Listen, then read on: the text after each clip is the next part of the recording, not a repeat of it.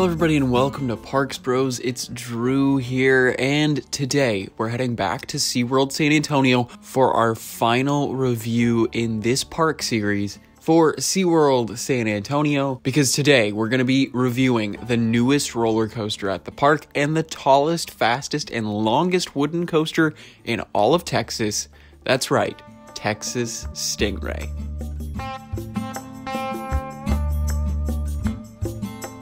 So, Texas Stingray opened in early 2020. I know, kind of a cursed opening, but being one of maybe three or four coasters to successfully open in its opening year, it has been looked quite highly upon, and I'm sure it was a nice bright spot in southern Texas, at least for coaster enthusiasts. But this coaster, constructed in 2019 by Great Coasters International or GCI, is the tallest, fastest, and longest wooden coaster in the entire state.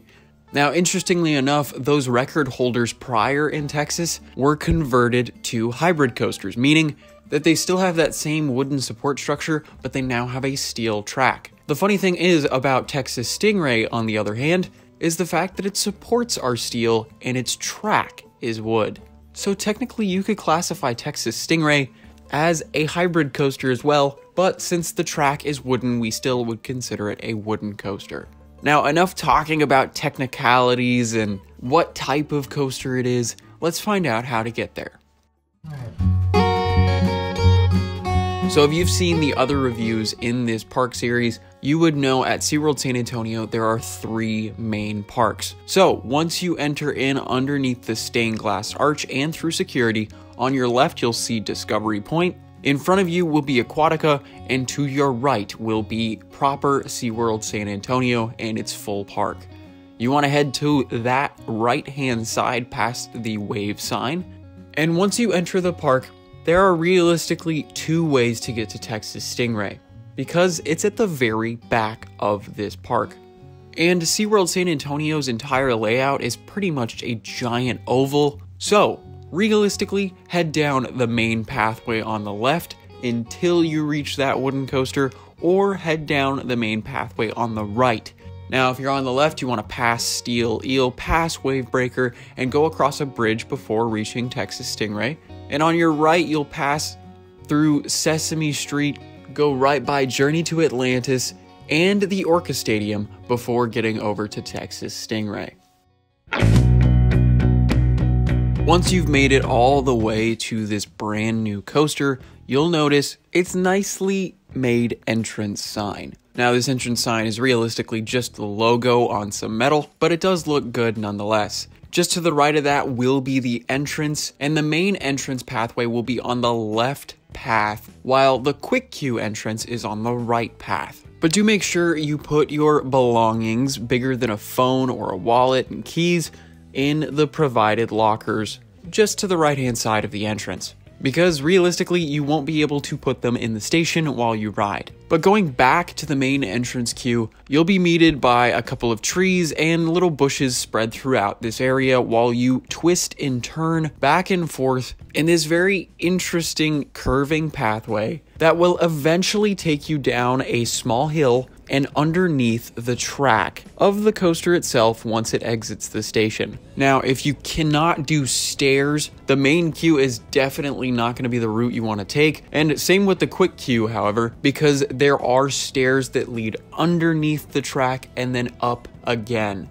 So you will need to use stairs in the main and quick queues. So do keep that in mind. And if you can't do stairs, of course, you can apply for an ADA pass. But this is where the quick queue actually meets up with the station staircase, and that's where you'll be let on the ride if you're in quick queue. But for the standard queue, it leads up into a giant group of switchbacks underneath some steel roofing which eventually will lead to some more curvy pathing that gives you some awesome views of the coaster. Now, you could definitely tell this ride is brand new just by its queue alone, and honestly, it feels like their budget was quite low for the queue itself. Now, don't get me wrong, I love the fact that there are roofs over the queues and even fans to cool you down on those hot Texan days. But with everything being raw wood or just painted one color, I can't help but think they either could have taken another couple of weeks or put in just that little extra bit of money to make it look a little nicer. Now, soon you'll be greeted by a weird winding pathway made of wood, which is still covered, thankfully, before you meet up with the quick queue to the stairs to the station. Once you head up these stairs, you'll be greeted with 12 separate rows and even more blaring country music before you take your seat. So once you've taken your seat, you will notice that there is just a lap bar and some nice padding on the seats. Now do keep in mind these trains are only two seats wide, so if you have a party of bigger than two, you're going to be taking up more than one row. But before I dive into the seat itself, I will mention that if you have ridden pretty much any other GCI wooden coaster like Mystic Timbers at Kings Island, Apocalypse at Six Flags Magic Mountain, or Gold Striker at California's Great America, you would know these trains and seats very well. But for those who have not experienced these types of seats and this type of coaster, these seats are quite encompassing on all sides and offer some nice padding, so you'll have a comfortable ride experience even though it's a wooden coaster and it might be a little bumpier than you used to. In addition to this, the lap bar does come in between your legs but is curved to give you more of a comfortable experience. And outside of that, your legs will have adequate room to move around a little bit. And in brief, these seats are comfortable enough to sit in for quite a long time and give you the support needed to stay upright during your experience.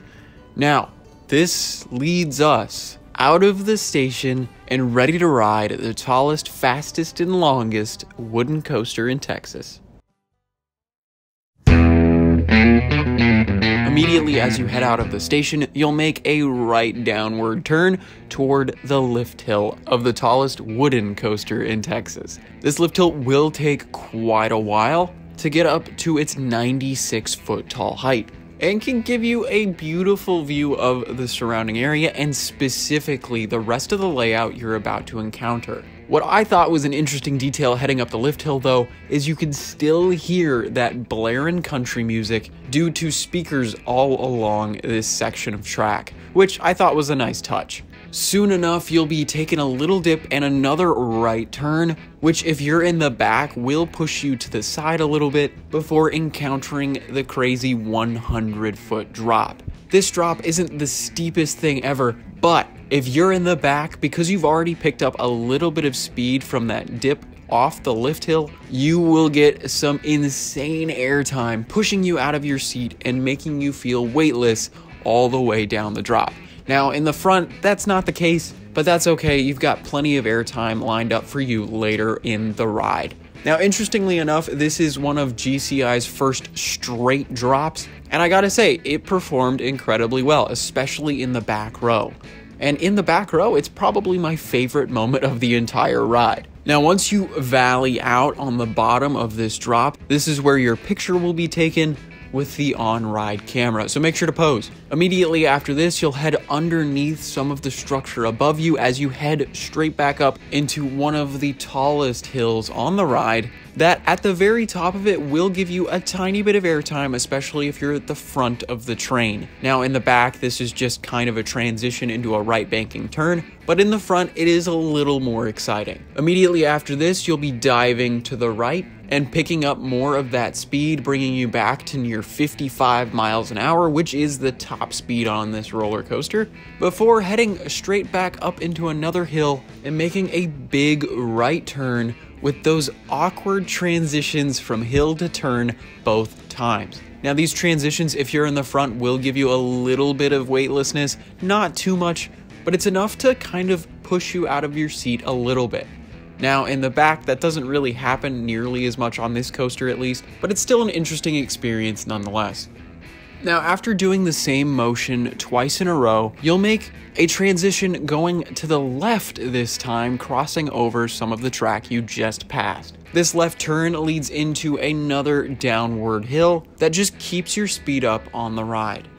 Soon you'll flatten out before diving back downward, which I think is a really great moment of airtime, especially in the back row. And it was a nice unexpected moment of weightlessness that added a little bit of flair to this straight section. Soon after, you'll be twisting to the left yet again before encountering what we like to call an off axis airtime hill, meaning you enter this hill twisting to one side and exit the hill twisting another. Now, in the back, this is an especially good moment, and it flings you around a little bit, and I would definitely say this is the most picturesque moment of the ride that you can see from the queue. Immediately after that is one of my favorite sequences on this entire ride, where after encountering that airtime hill, you bank to the right and hit another airtime hill that goes immediately under the lift hill and drop structure, giving you an awesome hand chopper moment where it feels like your hands might be chopped off by the supports,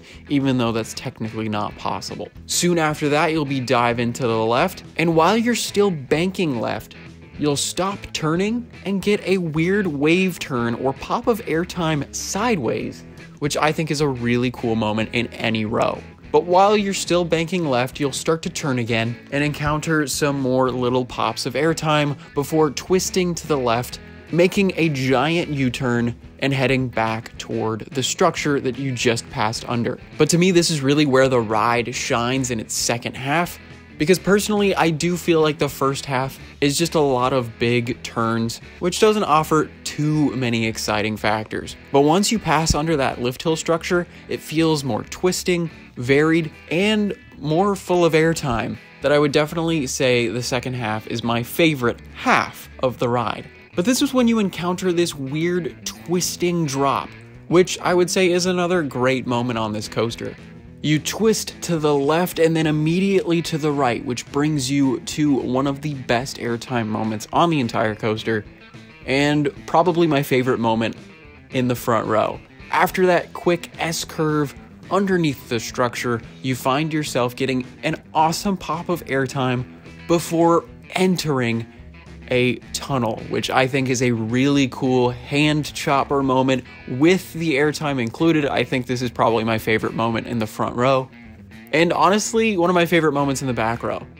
Soon after that, you'll be twisting in the tunnel just to the left before encountering some more slight airtime hills and making a giant right hand turn into the brake run. Once you've sat in the brake run for a little while and let the train in front of you, or technically behind you, go out of the station, this is when you'll re enter and grab your belongings out of the lockers once you've left.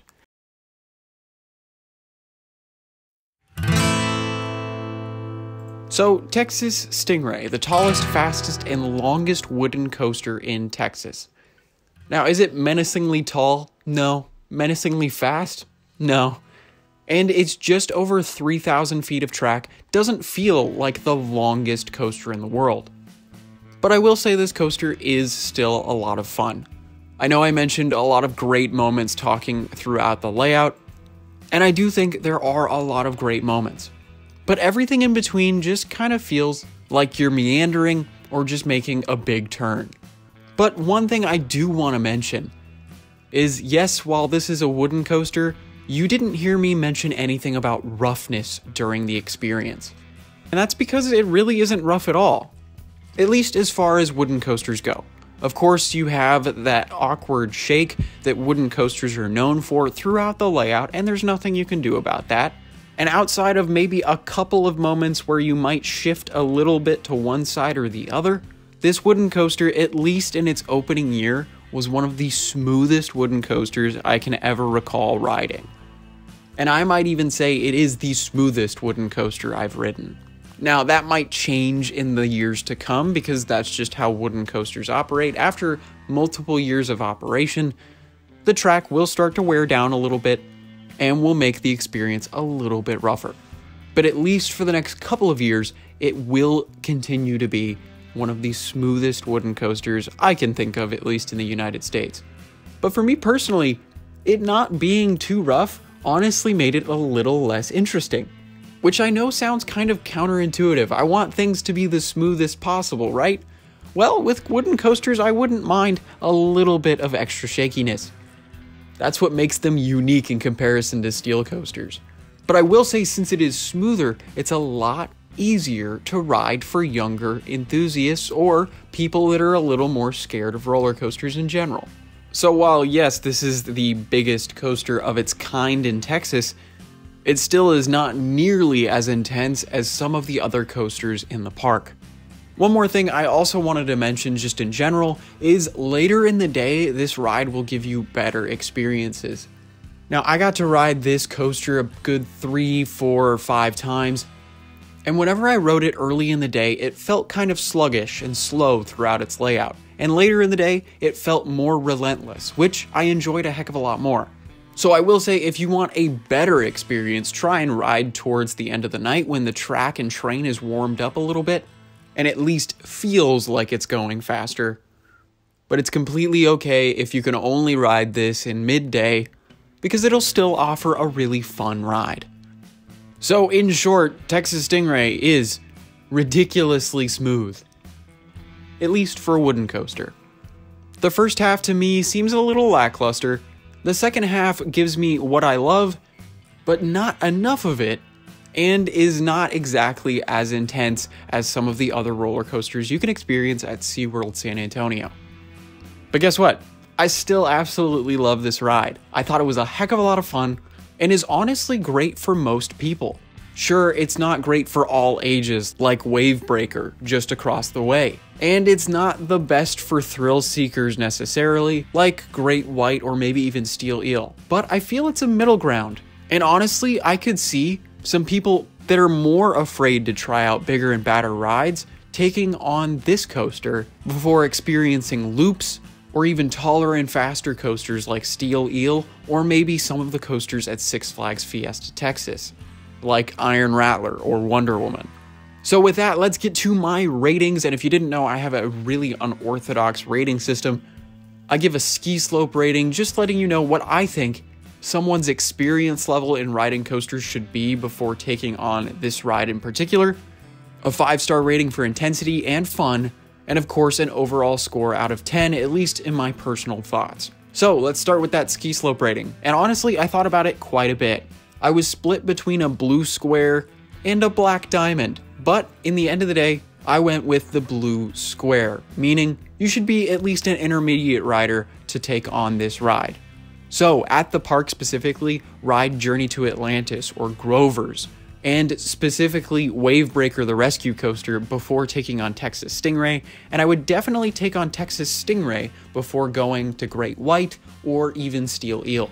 Now, that's not to say it's not intense at all. For my intensity rating, I'm gonna give it 3 out of 5 stars, which is actually quite intense, especially compared to most of the coasters at the park but I do still think it's something that most people could take on and not think it was too crazy, nauseating, or rough. Now, in terms of fun, I'm also going to give this ride a 3 star rating. Now, that's not to say it's not fun, it is actually quite a bit of fun, especially for someone who hasn't been on a bigger or faster wooden coaster. Or maybe even a more intense wooden coaster. But I will say, it's probably my favorite ride to just keep getting back in line and riding over and over again just because it's not the most intense thing, but it also offers enough fun to make it enjoyable to re-ride over and over again.